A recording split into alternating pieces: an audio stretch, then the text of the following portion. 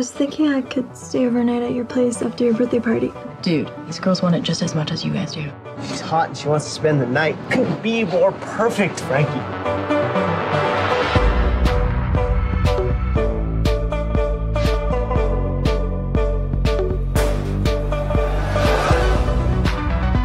Got you something. Play again. Been best friends for most of our lives.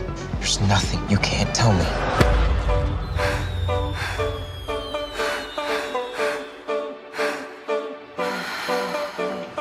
Alice, wait.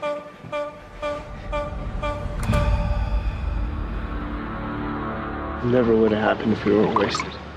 You and Ballas did something that straight guys don't normally do. What are you doing? Moving lockers. What for? Why the hell do you think?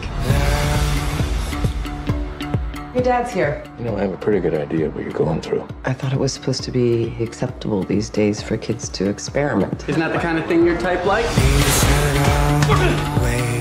He's just doing what he's always done. Jess is running around making sure everyone knows her boyfriend's straight. Can I walk to school with you? You realize that together we make one giant target, right?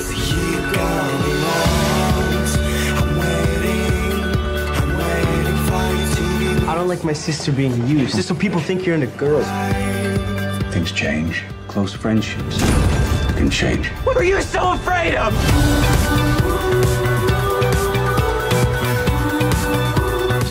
Like you had experience with somebody you really loved. Could be that simple.